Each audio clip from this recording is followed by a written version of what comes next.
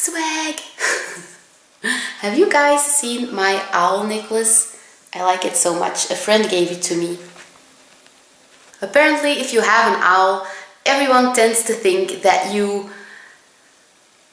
want every owl item, whether it are necklaces, earrings, books, towels. Just if you have an owl, expect to receive a lot of owl gifts when it's your birthday. Let's get into the video. A lot of people ask me the question, how much do I spend on owl food? And the answer is quite simple. Every three months I will buy one box with 10 kilograms of one day old chicks. And one box with 10 kilograms of one day old chicks will cost me uh, 12 euros. So this box lasts me three months, which means that monthly I pay 4 euros for Lucky's owl food, which isn't a lot.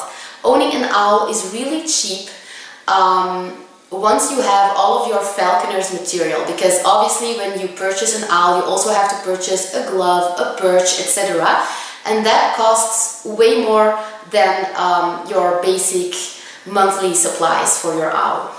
The only thing I should add to this is that during the winter time I will spend a little bit more money on owl food and this is because during the winter times you also have to give your owl baby mice, baby rats, adult rats and adult mice.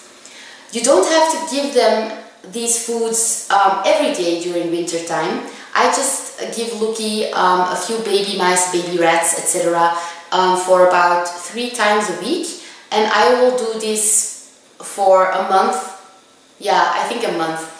The reason I do this is because baby mice, baby rats, adult rats and adult mice contain way more vitamins and minerals than one-day-old chicks. So the reason falconers um, kind of supplement their owls with mice and rats during the winter time is because this will keep your owl strong and healthy. Um, it supports their immune system and it's really important that your owl uh, has a strong immune system because if your owl has a weak immune system, um, it can catch uh, really bad diseases pretty easily. And um, with owls, unfortunately, if they become sick, it's usually pretty serious and a lot of the times the owl will die. So that's why during the winter time I feed Lookie uh, baby mice, baby rats, adult mice and adult, adult rats. Um, and I don't know if you guys know this, but baby mice and baby rats actually contain more vitamins and minerals than adult mice and adult rats. So that's why you gotta switch it up. Um, a small box of baby mice, for example, will cost me about 16 euros. So, and I think a small box contains 10 baby mice. So that's not a lot. So compared to one-day-old chicks, baby mice, baby rats, adult rats and adult mice are way more expensive. But it's not like you will give this power food to your owl every day during winter time, so I don't even count it in my budget. It won't make that big of a difference.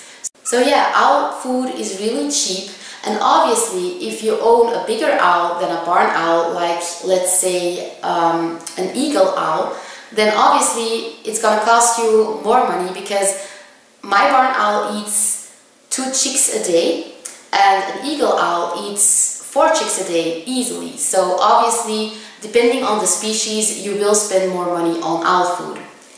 I hope this video helped you guys out and I will make a video very soon, I think tomorrow, about how to feed a baby owl, so stay tuned for that. And if you're interested in owl coachings, then contact me at elke.emmermann at telenet.be. All, the, all of the information is down below in the description box if you want to contact me, so yeah, bye!